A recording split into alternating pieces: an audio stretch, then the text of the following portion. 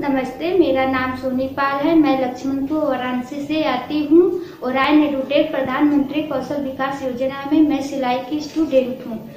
यहाँ पे सिलाई की मैं ट्रेनिंग ली। ट्रेनिंग लेने के बाद में रूबी फ़ैशन में मेरा सिलेक्शन हुआ, जिससे मैं बहुत खुश हूँ। मैं साधारण महिला थी, जिसे ओरायन ने मुझे खास बना दिया। मैं ओरायन एडुटेक और प्रधानमंत्री जी की तहे दिल से शुक्रगुजार हूँ।